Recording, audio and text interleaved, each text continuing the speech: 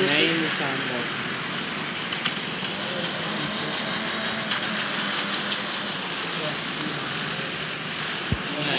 तो फिर-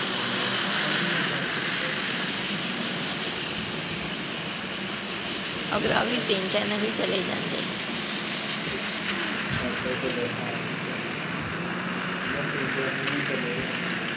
लोग कहते रातों रात बिज़नेस में आगे लागे जाते।